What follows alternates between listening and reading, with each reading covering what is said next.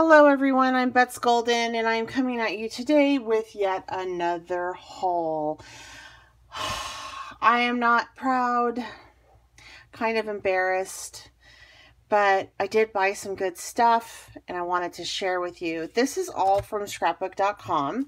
It's a new line that has just come out. This is the uh, Liberty Collection by Authentique and it doesn't look like it fits in the screen, but um, I usually don't buy pattern paper anymore because I have so much of it and I can I love just making my own on my gel press plate. However, I am a big pin up, pin up fan and I saw these and I just knew that I had to use them. And I originally thought they'd be for ATCs. However, I believe they're too big for ATC, so I'm just going to make cards out of them. But isn't that so pretty? So I'm going to go through and just show you what I got on scrapbook.com. Not all of it is from this line. I got some stuff um, from Bo Bunny. I thought that this would be cute to match this line as I do some cards. So again, this is the Liberty collection, and I will have a link provided down below if you want to go check them out. What's so fun is the back is also patterned as well, but I'm going to be using the front on this one. And then this one, I really liked that. The back is super cute, kind of a country feel.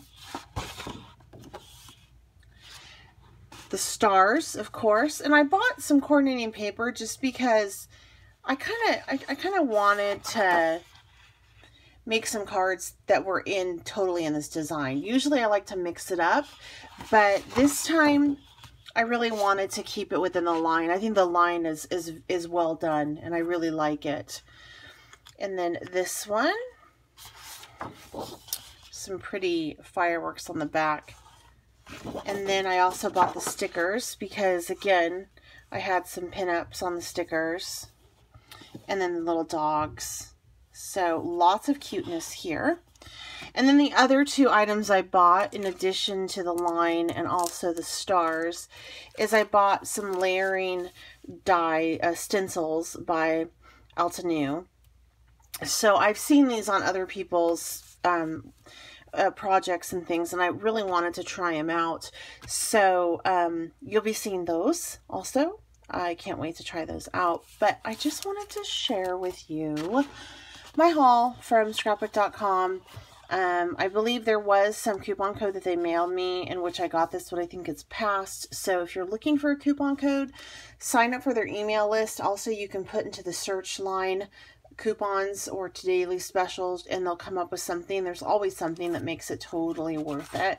I think shipping and everything included on this was around $25. I think. I think. Not quite sure. Anyway, I hope you enjoyed this haul. Um, I hope it gets you start to think about 4th of July. I know I'm a little late in the game as a YouTuber, so we'll see uh, what shows up. Or, you know, you may see this stuff um, in 2020. I may do it and then post it for then. I don't know.